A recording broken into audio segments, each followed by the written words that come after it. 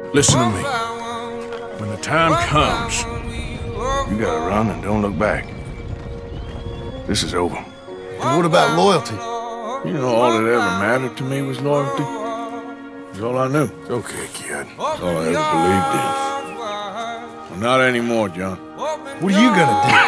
I'll be okay, but do it for me. It would make me feel good, if that makes any sense. A little. You got a family.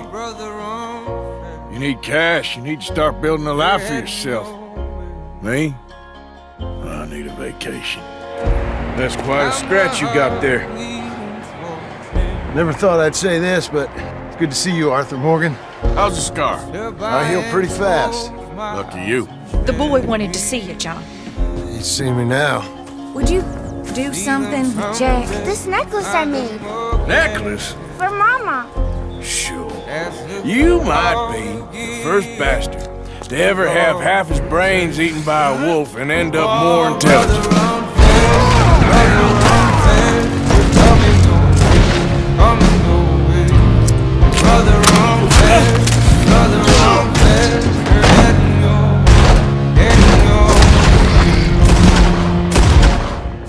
Oh, you'll never change. I know that. Stop acting like a goddamn storybook hero, will ya? What choice did I have? Plenty, you moron. Plenty. You lived your life like a man, Arthur, and you turned into a good man.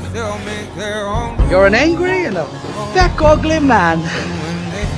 Not a bad one. Your path will be just fine. You'll do what's right. God damn it! Move! Ah,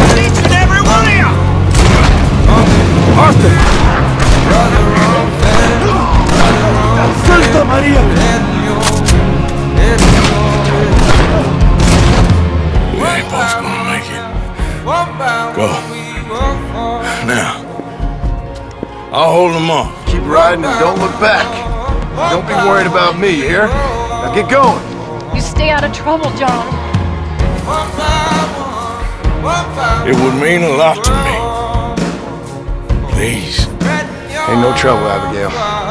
Ain't no trouble. I love you. I love you. You're my brother. I know. I know.